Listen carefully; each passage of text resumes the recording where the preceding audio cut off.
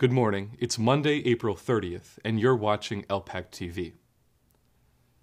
We've entered into a time in history in which anything less than a revolutionary state of mind will inherently lead to disaster. It's only by calling all previous habits, presumptions, modes of behavior, and prevailing opinion into question, and being willing to usher in sudden, radical and unprecedented changes in policy that mankind will even possibly have a chance at surviving the current calamity. At the point of a breakdown crisis, when all previous policymaking has failed, and all attempts to extrapolate past experience only makes matters worse, it will be those few individuals who are willing to critically examine the very foundations which underlie the global trends in statecraft and policymaking, and overturn those that have caused the threatened disintegration of human civilization itself, who will emerge as the leadership of and among the world's nations, and will be able to effect the profound and systemic shifts in not only policy, but also mankind's vision and view of itself. Over the weekend, Lyndon LaRouche completed and published two new written reports Dreams of a Modern Nero and Time for Glass Steagall in Britain. As Mr. LaRouche states in the introduction to the latter report, any rescue from this present world crisis requires the kinds of immediate, systemic corrections which could only be expressed now in the form of a profoundly radical shift in global trends in statecraft. Suitable changes, if they occur, will be experienced as the immediate and radical overturns of certain hitherto prevalent presumptions. Presumptions respecting both the evolutionary and even revolutionary development, respecting expressions of most among the ancient through contemporary policies of nations.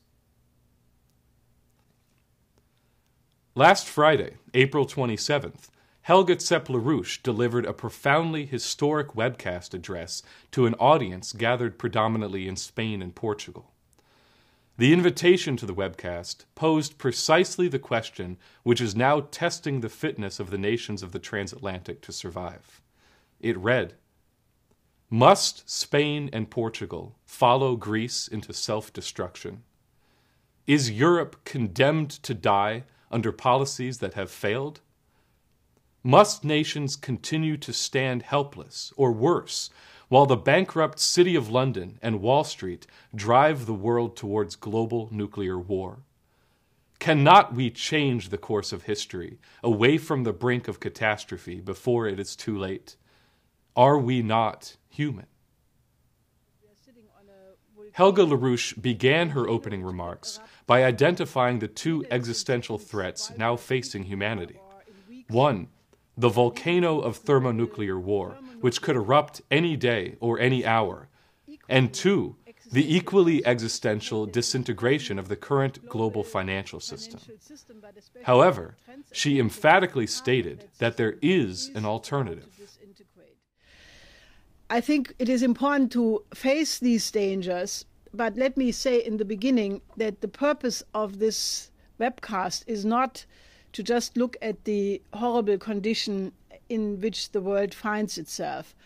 But the purpose of this webcast is to address ourselves, especially to the people in Spain and Portugal who are hit right now with the consequences of a completely incompetent and I would even say malicious policy on the side of the European Union, and to start to discuss the fact that Mrs. Merkel is not right when she says there is no alternative. This is the most favorite sentence of Mrs. Merkel. She always says there is no alternative to the euro, there is no alternative to the fiscal austerity, to the debt brake, uh, to the bailouts. Now, that is all not true. There is an alternative, and that alternative has been tested in history. It is called Glass-Steagall. That was the banking separation which was introduced by Franklin D. Roosevelt in 1933 and which led America out of the Depression uh, in the 30s. Now, that can be applied today. There are also other forms of uh, financial systems. You don't have to stick with a bankrupt monetary system. There is the possibility to go to a credit system. And there is a quite elaborated plan for the economic reconstruction of the United States, of Europe, and even the world economy. And I want to solicit from this program people from Spain, Portugal, but also other countries to help to put together a reconstruction program, which we have already basically ready in outlines, but I want to have the collaboration of engineers, scientists, students, trade unions, and other people to help to put it on the on the table uh, quickly. We encourage you to watch this webcast in full, including the discussion period, during which Mrs. LaRouche answered questions from Spain, from Ireland, even from Brazil. What we're seeing now is an increasingly awakened European population mobilizing itself to take history into its own hands and make the decisions which will determine their own destiny and the destiny of the world, catalyzed largely by the leadership which Mrs. LaRouche Jacques Cheminade, their co thinkers, and the LaRouche movement generally has provided. Just look at the official declaration issued by 14 very prominent German and French economists that was published in leading French and German papers this weekend, including the Frankfurter Allgemeine Zeitung. This appeal to the governments of the European Union, as the declaration is called, calls officially for an end to the euro experiment starting off with a quote from the poet Heinrich Heine, which very appropriately reads You should have the courage to tell your people when the hour has arrived.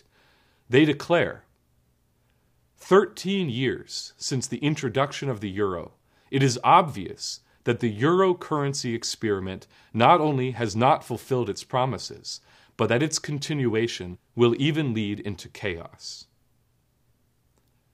After enumerating the brutal effects the euro has caused, comparing the current crisis to that of the pre fascist 1930s, and declaring that any attempts to bail out the current system will be in vain, the economists warn if this euro rescue policy is not immediately stopped, the adventure of the common currency will end tragically.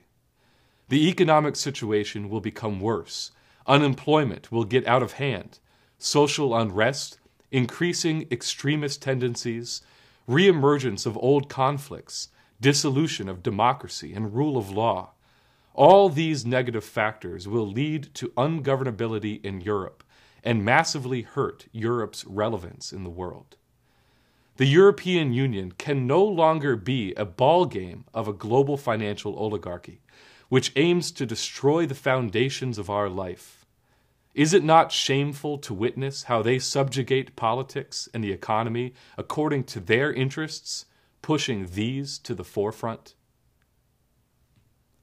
The declaration ends with the following appeal Therefore, we call on our governments to propose to other member countries to put an end to the euro experiment and to take the following measures to replace the euro with national currencies, with each state retaining all its prerogatives, while certain countries may reach bilateral or multilateral agreements to pool their currency. To create a new European monetary system, having a European unit of account equal to the weighted average of the national currency units. To list up front the desired parities of the national currencies to that unit of account parities calculated so as to limit speculation, restore the competitiveness of all member states, ensure balanced trade among them, and reduce unemployment. To ensure that the actual exchange rates of the national currencies will then be stabilized within a fluctuation band to be determined to convert internal prices and wages in each country, as well as bank assets, on the basis of one euro for each national currency unit. To convert, by applying the same rule, the public debt of all the euro countries into their new national currency. To convert international private loans and debts into the European unit of account. We know, of course, that none of these measures will function without first eliminating the speculative parasites through a coordinated action to impose Glass-Steagall, and initiating the construction of great projects by which the physical economic viability and national credit of the nations of Europe may be restored. However, it is precisely the spirit of revolutionary change, declaring the old system dead and rotten, and abandoning it in the interest of an entirely new system founded on completely different assumptions, that is urgently necessary now.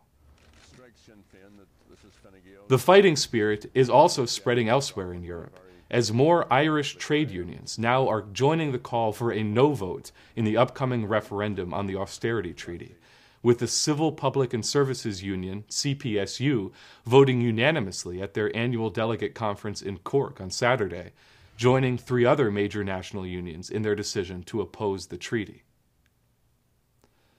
And so, it's clear that the credibility of the dead system is rapidly waning, and anyone operating on the premise of that dead system is very soon about to be swept into the gutter of history. This coming weekend, we will see not only the second round of the French elections, which very well may cast Sarkozy from the throne of power, but also the Greek elections as well, where a full out citizens' revolt continues against the foreign occupation of their nation.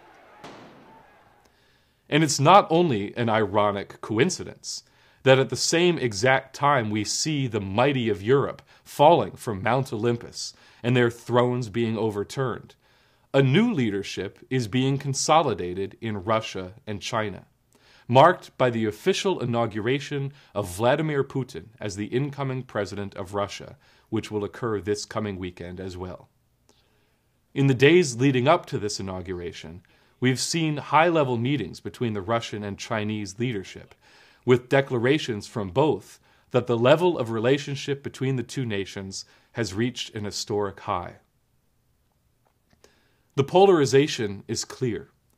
The existing system is dead, and those that are attempting to hold on to that system are being dragged down into hell along with it and the leadership of nations such as Russia and China, and even Argentina, right here in the Western Hemisphere of the globe, that have the courage to defend the sovereignty of their nations and look truthfully for the alternative, are finding themselves in a position of strength, a strategic position of advantage.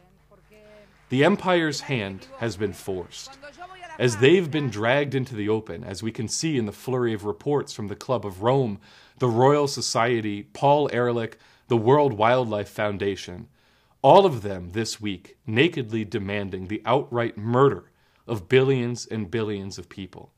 By far, if it succeeded, the worst crime against humanity ever committed in history.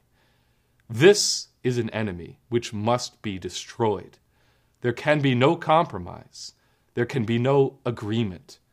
This is truly a time for a revolutionary shift in the paradigm of history.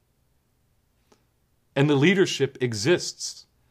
Just look at what the LaRouche National Candidate slate is accomplishing in the United States, despite the insanity of the two candidates for the presidency.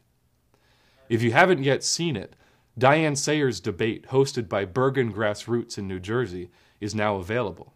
Okay, so as people know, I'm Diane Sare, and I'm running for Congress because the world and our nation are facing an existential crisis.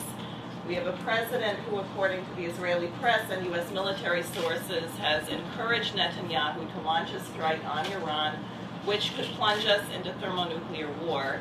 Uh, we, the entire European banking system is admitted to need at least 4 trillion euros in bailouts. And therefore, what urgently needs to be done, number one, in the United States, is we have to reinstate FDR's Glass-Steagall Banking Act. We have to separate the commercial banks from the speculative banks and stop these bailouts. Number two, we have to restore the American system of national banking and credit as understood by Alexander Hamilton.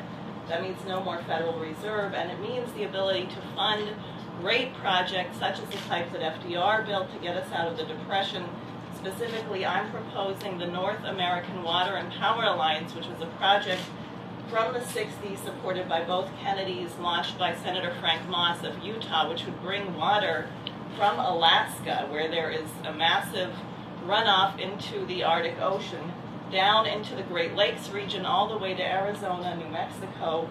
This project would employ about 4 million people, many of them for 30 years. And had this been built in the 60s when it was proposed, all of the flooding and droughts and devastation of the extreme weather of last year would not have had the impact that it had. So these are the three things that I believe urgently must be done. A return to Glass-Steagall banking, a return to the national system of national banking and credit, and the construction of NAWAPA. Thank you. Diane Sare also hosted a highly successful town hall meeting attended by almost 50 activists and addressed by principal author of the NAWAPA 21 report, Michael Kirsch, this weekend. The footage of this event will be available on this site later today as well. And this only typifies the leadership now being catalyzed by this unified national candidacy. An intense national mobilization is now in progress, with LaRouche movement activists covering the entire country, including flying squads in the crucial NAWAPA states, Alaska, Arizona, and Idaho, to mobilize a juggernaut of support behind the threefold resolution for Glass Steagall, national banking, and NAWAPA. So, as we stated in the beginning, we are living during one of those rare moments in human history where we have the opportunity to effect a sudden and total revolutionary change. The very foundations of belief have now been called into question. And it is our duty and our responsibility to discover and impose those truthful principles of economy, of culture, and of statecraft, to overturn the failed habits and presumptions that led us to this dire hour, and change the way that man thinks of himself and the universe that he inhabits. Within only a very few short months from now, in May, in June, in July, we could find ourselves living in a completely different paradigm of history, with the solutions which this movement has worked for decades to define actually becoming the adopted policy of major nations. The smell of victory, indeed, is in the air. The missing ingredient might just be the will to seize it.